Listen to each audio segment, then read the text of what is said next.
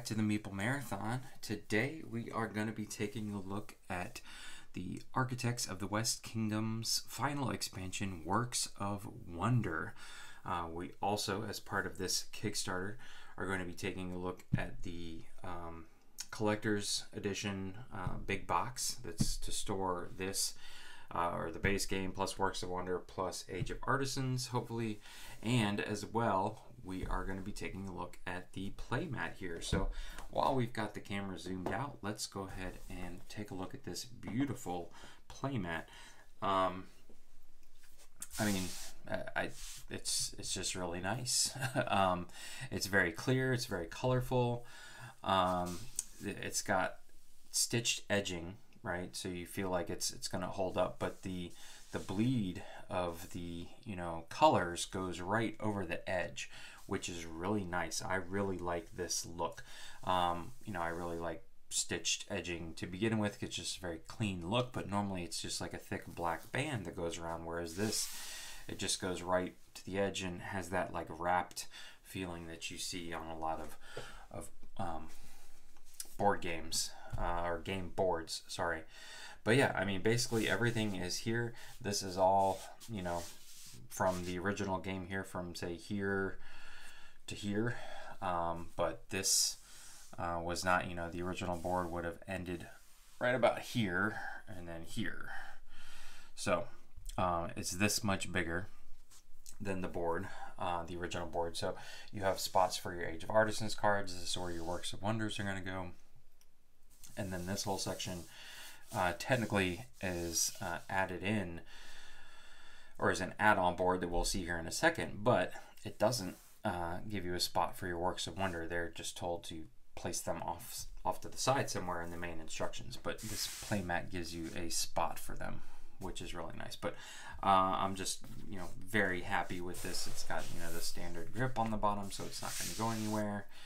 And yeah, this is just a really nice. Um, really nice touch. I don't foresee, you know, the, them coming out with a playmat for paladins or viscounts simply because Viscounts, the board is it can be rearranged, you know, be in different places, uh, and Paladins, it would just be one long skinny uh, green mat. It would feel kind of funny out on the table. So, yeah, I'm really happy with this. So let's um, we're gonna keep this out just so you guys can take a peek at it in the background. But let's take a look at uh, Works of Wonder. All right, so um, you know, standard size expansion box for all the rest of the West Kingdom stuff here. It is on there tight though. Um, so Works of Wonder obviously adds the wonders in. It also adds the Profiteer and the Princess. But the thing I think I'm the most excited for is the um, addition of a whole new solo AI to play against, which is uh, feels very robust, at least from from reading it. So um, you can see here three new AI player boards, uh, and they're double-sided, so six different AI you can play against. Uh, but pretty standard rule book here. We've seen all this before, uh, and most of it is, um, or half of it, it feels like, is going to be for solo play. Yeah, solo play starting here around page 8 and goes to uh, 14. So yeah, you know, half of this rule book, if you don't plan on playing solo, you're only looking at seven pages of, uh, of, of stuff you need to, to figure out. So not bad at all. So we'll take a look at these here in a second. This is the board extension that if you were playing with the board, you didn't have the playmat, you would add on to the side of the board. So we, you know, we're just looking at this a second ago. This would you know, fits right in there. Um, but essentially this is giving you, and starting from the top here, this is where your contribution cards are going to go. You can contribute toward materials that are going to go towards the wonders because the wonders are going to need like 10 to 15 of, of a single resource uh, to build. And so you can contribute towards them, but you may not be the person who builds them. Um, but you get stuff for contributing. So that's going to tell you, but these are going to be cards uh, laid out here that are going to change. And then the Profiteer and the Princess give you different things when you go to their specific location. I'm not going to cover all those rules, but generally, you know, she's going to give you really good stuff. He's going to give you stuff, but has some negatives about it, things like that. And we're going to see some double sided cards here in a second that when you flip to a new, uh, when one of these cards get filled up, you're going to flip it over, and on the back side tells you what happens when you go to their locations, but also changes their locations. So they're going to move around the map. And then last but not least, it's just two additional uh, locations for apprentices here, plus a, a, draw pile card stack. And then some more stuff about how this uh, influence track works over here. So it used to be just virtue, now it's virtue and influence in this game. All right. So a whole bunch of cards. Again, we'll take a look at those here in a second.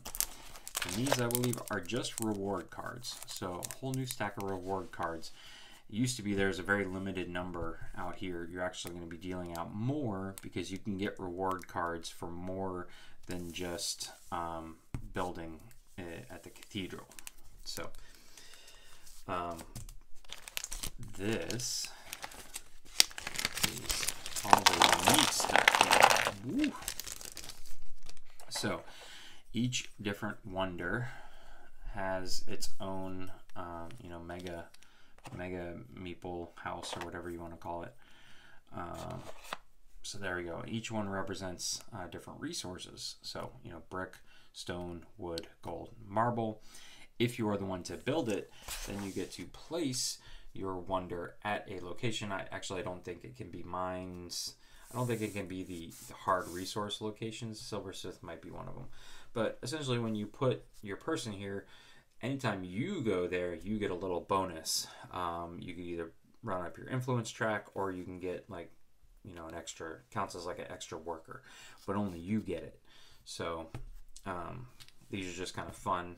Yeah, makes the board pop, you know, three dimensionally, things like that. So if you're, I don't know how easy it will be to get all five of them out, especially in a solo game. Probably is not going to happen, but um, add some depth to the board. So here's the Profiteer Meeple. So he's going to be placed around the board. Same with the Princess. She gets the white one. This is now for the um, solo AI player, and we're going to touch on this, why I'm excited about that one little token. And then there is a whole bunch of flags for the various player colors, and these are to go up the uh, influence track. So formerly there was just two, one for virtue and one for the cathedral track. Now you have a third one to go up the influence track. But that's it. So not a ton of added pieces, which is nice. Um, Again, we're going to talk about this guy here in just a second. So let's take a look at these player boards here. All right, let's look at the new regular player boards first. Again, all of these guys um, are going to give you she's got all these question marks here. That's interesting. Um,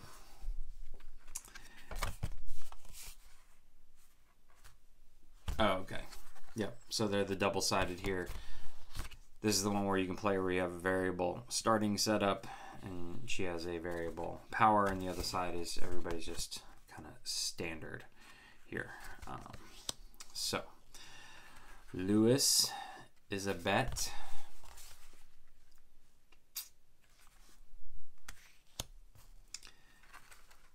Claude, Clotilde, Clotilde, Clotilde. She looks German. Ooh, Cicero. There we go. And Arnulf. Arnulf likes the brick. And Charles. You think Charles starts with gold because he's yellow? Nope, he starts with wood. Okay, but here we go. Here are, oh, So you got like the aristocrat, the meddler, the patron, the peddler, the illusionist, and the enforcer. So each one of these is unique. And so what you're seeing here is very similar to the paladins of the uh, West Kingdom solo AI, where instead of gaining the coins uh, or resources, they march along this track, and when they do, they gain something. But this also uh, says, okay, these are the cards you're going to go after at any given time when tone told to draw something. You can see here that um, you know each one of these guys has like a specific place that they like to go to when this specific symbol comes up. I'm guessing guardhouse is probably all the same actions.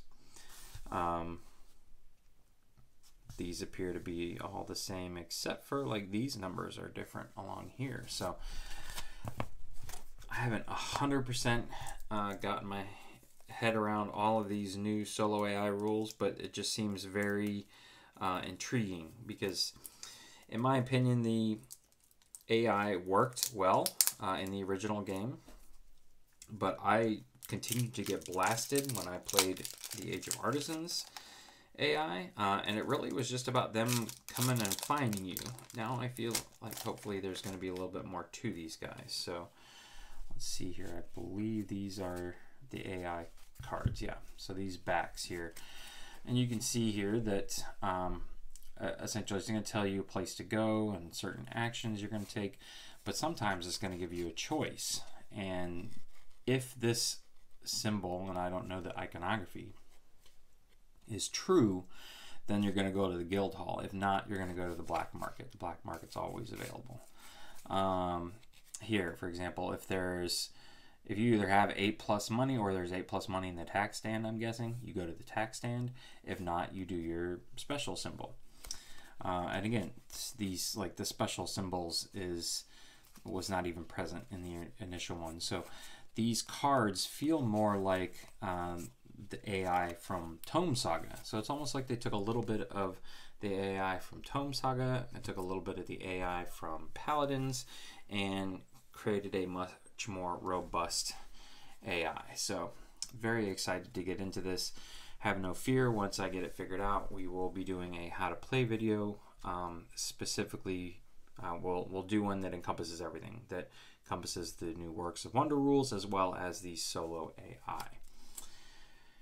Here we have um, our contribution cards. So these are the cards that, oh, so this is for Tome Saga.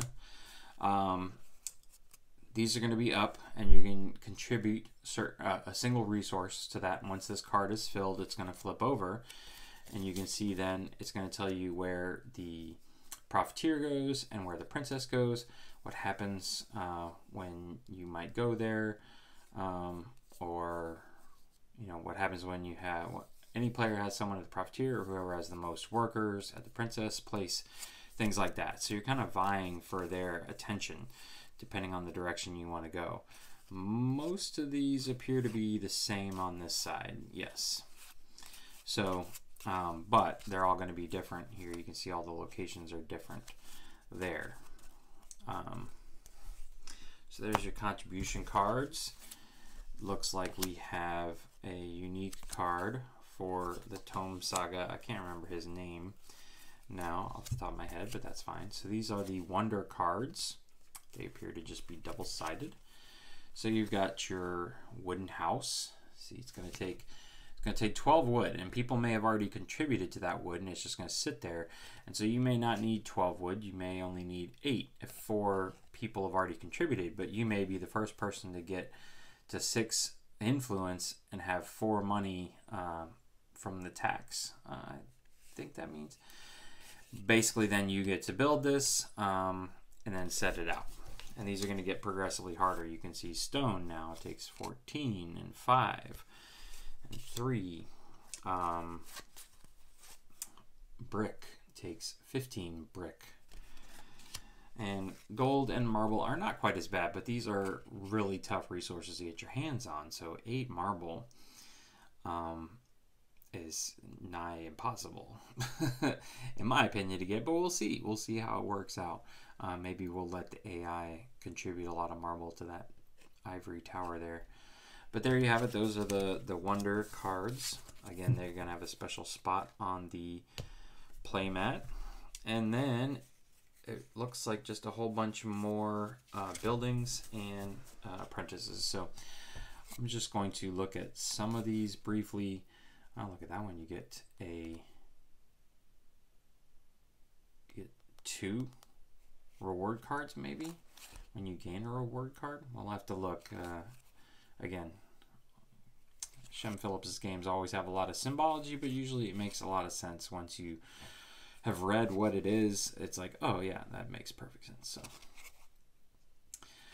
So, um, but yeah, like I said, I'm not going to go through all of these. Um, they all have this symbol in them, so you know these are from the Works of Wonder if you wanted to take them out. And then here are some new apprentices to add in.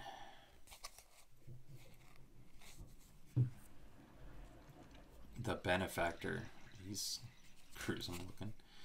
The charlatan. See, like all these guys do stuff when you lose influence.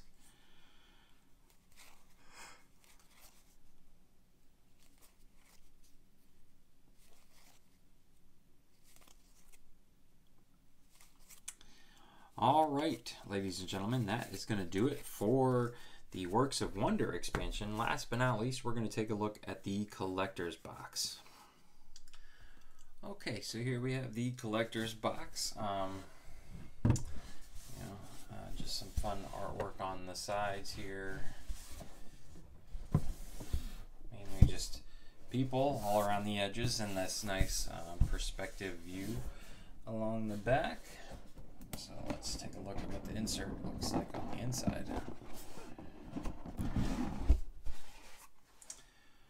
All right. So lots of different wells. I'm assuming we're probably going to put resources in here. We'll take a look at these here in just a second. Um, why so much stuff right here? Obviously, standard size cards, uh, coins maybe and here um yeah the worker meeples or maybe these are maybe these are going to be the various colors of meeples. These are going to be the resources. We'll figure it out. Um, so just very quickly here let's take a look at the promos that came with the collector's edition box. It looks like some more uh, one single uh, contribution card.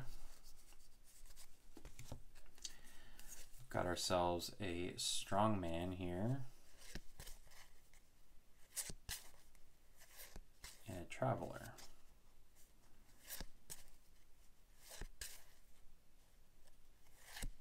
Okay. And we've got three new buildings. Archive. That is a lot of resources there. This is giving you 10 points. Almshouse and a vineyard. Okay, and some artisan cards.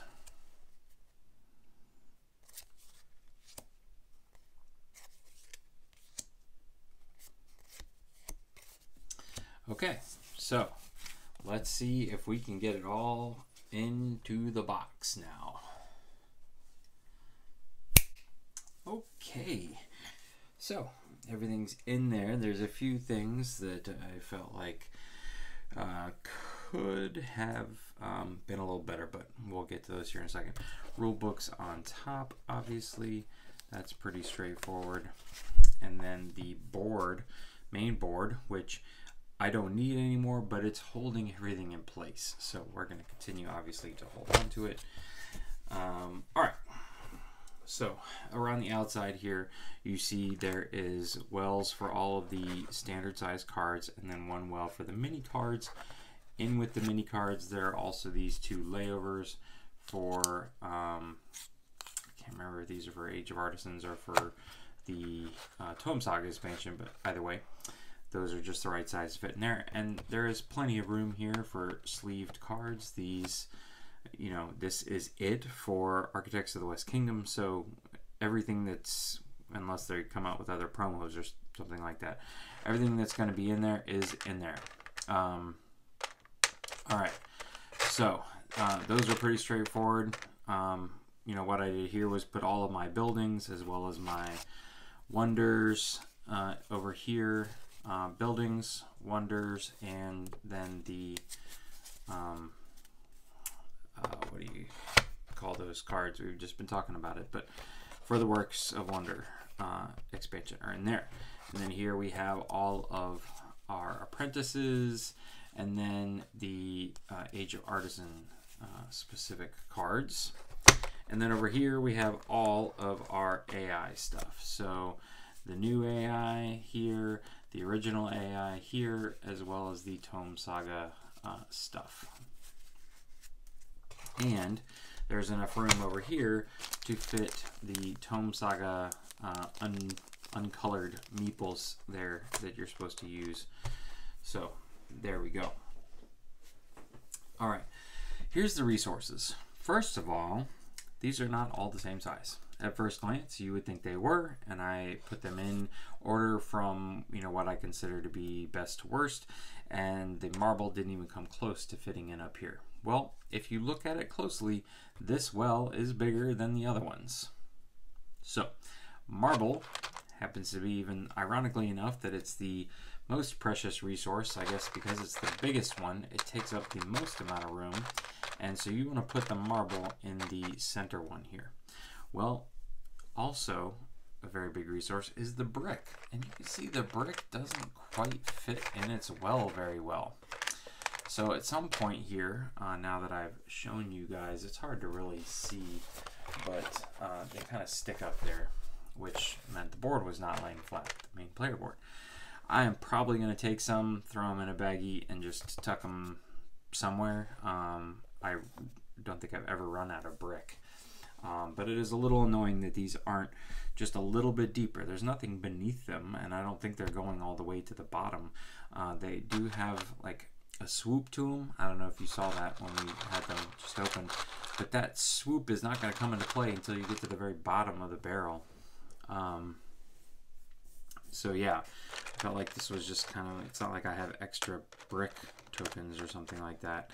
So uh, buyer beware if you do have like upgraded resource tokens. I you know I myself have looked into those on like Etsy where it's like realistic looking brick and marble and stone and stuff like that.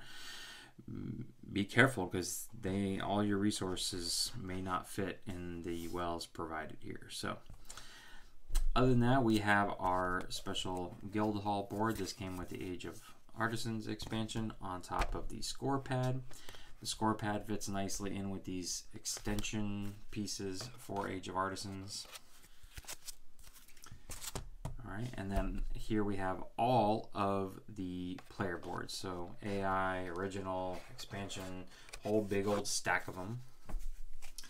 And then this is very crucial. This is where you put your extension board. It fits in here perfectly. You want to put it on the bottom because the player boards you can see don't fill up this whole space, right? They left, uh, or maybe they didn't do it on purpose, but there's enough room to get your finger under there. But this board uh, fits uh, rather snugly, which I think is nice because the stuff underneath is not going to get jostled around. Then the stuff underneath is pretty uh, explanatory here. You have a well for each one of your various colored meeples, and then the works of wonder and Princess Profiteer AI token. Those are all in this middle section here. So um, pretty easy to figure out that there's six, uh, assuming you have the Age of Artisans expansion, you have six uh, player colors here, and there's six wells, and you have five resources, and there's five wells up here. So it's not like I could flip flop them if I wanted to. But there you have it. Um, I just want to see what this feels like if I take out a handful of brick here. Okay, everything is laying much more flat. Um, so again, here you can see how these resources all go in there. Put your cards in however you see fit. then board extension on top of player boards here. I was putting them in off to the right. Then these little player board extensions, your score pad,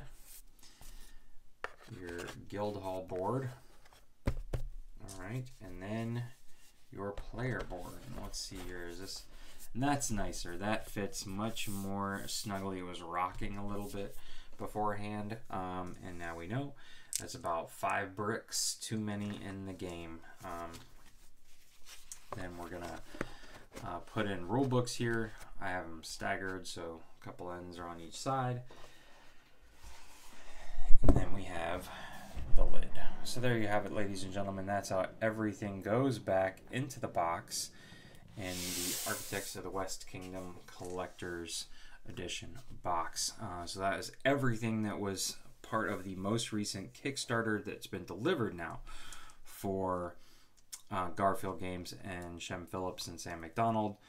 Um, their most recent Kickstarter was the expansions and collectors box for Viscounts that will be coming eventually, and they're getting ready to release their Kickstarter for their um, South Sea, no, not South Seas, South Tigris expansion, Wayfarers of the South Tigris, I think it is. Um, so very excited about that, um, especially after this such amazing games that these three are. So keep an eye out for that coming very soon on Kickstarter. Anyways, if you enjoyed this video, please consider giving it a thumbs up. And if you'd like to see more content like this in the future, please consider subscribing to the channel. Once again, thanks for watching. Have a great day.